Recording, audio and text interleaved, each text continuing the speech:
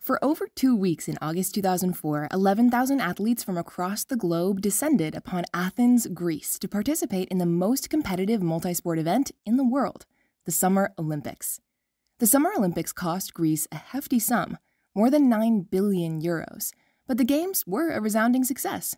Jacques Rogge, then president of the International Olympic Committee, would say that Athens 2004 were unforgettable dream games. Then, one year later, the European Commission would place Greece's public finances under strict monitoring.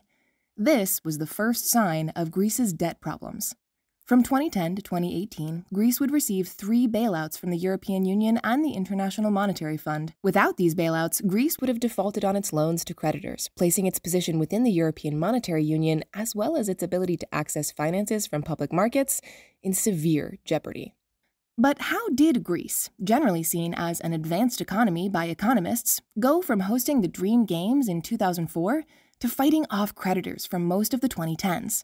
In 1999, 11 European Union countries adopted the euro as their national currency. While Greece wanted to adopt the euro, it could not due to the restrictions under the Maastricht criteria. The Maastricht criteria set out the following conditions for the adoption of the euro. First, inflation must be no more than 1.5% higher than the average of the three member states with the lowest inflation. Second, the government deficit must be below 3%. And third, the debt to GDP ratio must be below 60%. Additional conditions would be added later on. Greece finally did adopt the euro in 2001, but only because it had lied about its finances. This would not be the last time Greece would cook its books. Adopting the euro allowed Greece to borrow heavily from public markets at low interest rates. The Greek governments of the day used these borrowed funds to develop many social programs, lower taxes, and expand its pension system. These policies were met with cheers from Greek citizens, but with concern from Greek bondholders. When the great financial crisis ripped through the global economy in 2008, Greece's finances were already in a sorry state. Its debt to GDP ratio was roughly 127%, whereas the debt to GDP ratio of the European Union as a whole was close to 60%. Its budget deficit had also ballooned to roughly 15% of GDP by 2009, only slightly lower than the 18% of GDP it posted the previous year. For comparison, France's budget deficit was less than 6% of its GDP, and Germany's budget deficit was close to just 1% of its GDP by 2009. Many analysts choose 2009 as the starting point of Greece's debt crisis. A newly elected government revealed that its predecessors had been underreporting the true budget deficit. This revelation temporarily shut out Greece from capital markets, which meant that it could no longer issue government bonds to pay off its debts. If Greece didn't receive a bailout, then it would be the first country in the European Union to default on its loans. But why would a default be so bad? When you borrow money from a bank, the bank will check your credit history to determine the interest rate they will charge you. If you have a history of paying back your loans on time and in full, then the bank will charge you a low interest rate. But if you have a history of missing loan payments or refusing to repay loans altogether, then the bank will charge you a high interest rate. In fact, the bank may even refuse to loan you money if your credit history is really bad. This is the problem that Greece faced. If it defaulted on its loans to investors, then it would face prohibitively high interest rates in the future, or it may receive very few loans at all. This would force Greece to either raise taxes to make up for the lost revenue or lower government spending. Either option would severely contract the Greek economy for a very long time. A Greek default would also be untenable for the rest of the monetary union. If one member of the monetary union could default on its loans, investors thought, then why couldn't others? In 2010, the EU and the IMF agreed to bail out Greece. The IMF would give Greece 110 billion euros over the next three years, while the EU would give Greece 80 billion euros. In exchange, Greece committed to a series of austerity measures to get its public finances under control. These reforms weren't very popular among Greek citizens. Between 2008 and 2018, Greece's GDP contracted by roughly 25%. By 2013, more than a quarter of Greece's labor force was unemployed. However, despite being unpopular, future governments agreed to additional austerity measures in exchange for two more bailouts, one in 2012 and another in 2018. By August of 2018, Greece received the last euros from its third bailout program. Prominent EU officials marked the day as a turnaround for Greece and an end to the crisis that had plagued the Mediterranean nation for close to a decade.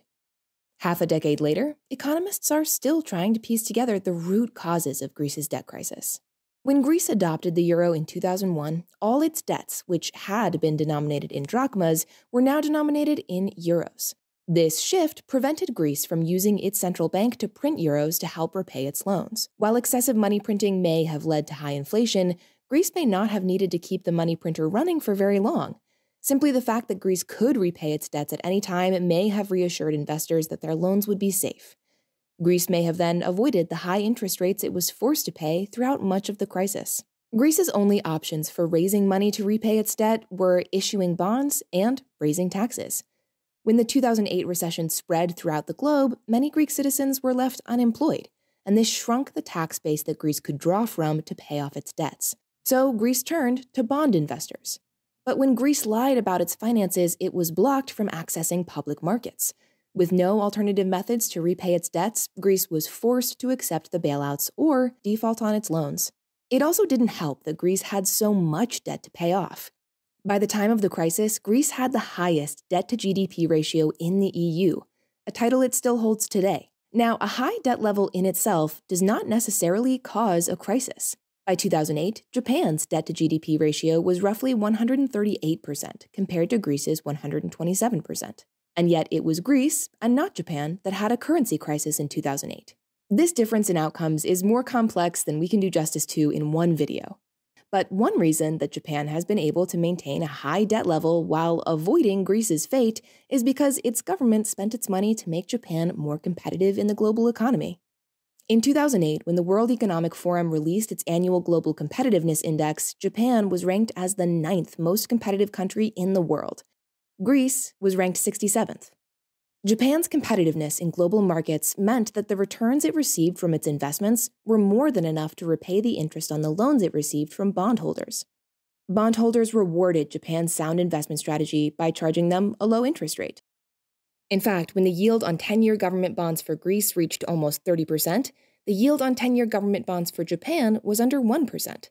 This was despite the fact that the debt levels in Japan were higher than the debt levels in Greece. In conclusion, Greece's debt crisis was the result of four mini crises. First, there was the 2008 recession that shrunk the revenue that Greece received from its taxes, the taxation crisis. Second, there was its inability to access capital markets because it falsified its finances, the corruption crisis. Third, there was its inability to print euros to help repay its loans when taxation and government borrowing were no longer options, the monetary sovereignty crisis. And finally, there was its wasteful government spending, which did little to improve its global competitiveness the competitiveness crisis. These mini crises fed on each other to produce the debt crisis that gripped Greece for nearly a decade.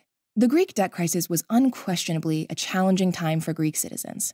Many were left jobless, economic growth stalled, and income inequality worsened. But the crisis is also a compelling narrative from which we can draw lessons for future governments to follow. For instance, if Greece had invested the borrowed funds more strategically, then it may have avoided the crisis altogether Alternatively, if Greece had been able to print its own money, the crisis may have ended sooner than the near decade it took to resolve. These are just some of the lessons that policymakers have taken from Greece's debt crisis. We'll leave it to you to find others.